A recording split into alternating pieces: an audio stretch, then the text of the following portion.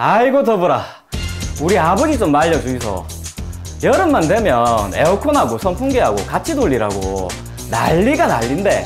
진짜 에어컨 하나만 돌리면 되지 무슨 선풍기까지 같이 켜란 말입니까?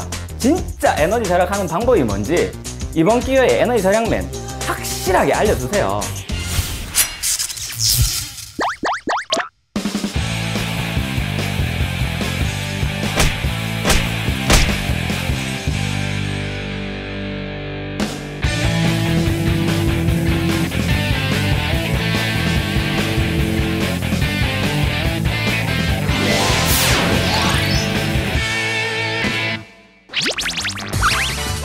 에어컨과 선풍기의 효과 논쟁.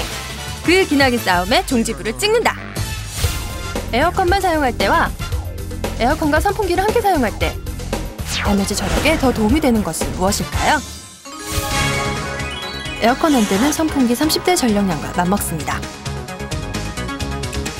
20분간의 냉방 결과 에어컨 강풍의 경우 338.9Wh, 에어컨 약풍과 선풍기 미풍의 경우 262.5Wh가 소모되네요.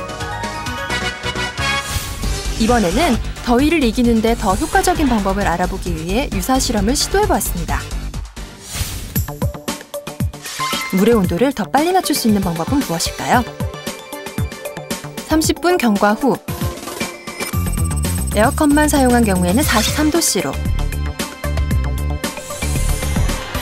에어컨과 선풍기를 함께 틀어놓는 경우에는 28도씨로 떨어져 있네요. 에어컨과 선풍기를 함께 사용했을 때 우리 몸의 온도도 더 빨리 낮아지겠죠? 에어컨과 선풍기 듀오의 승!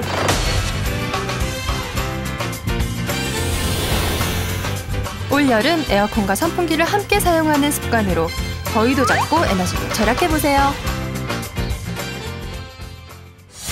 우리 아버지 좀 말려주이소 따라가요. 이제 따라오. 예, 이거. 아, 가운